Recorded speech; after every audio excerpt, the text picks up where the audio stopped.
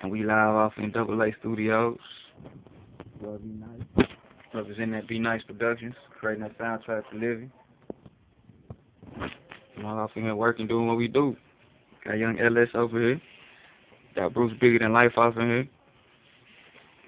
I need something serious. You can get with it or get left. Ha ha.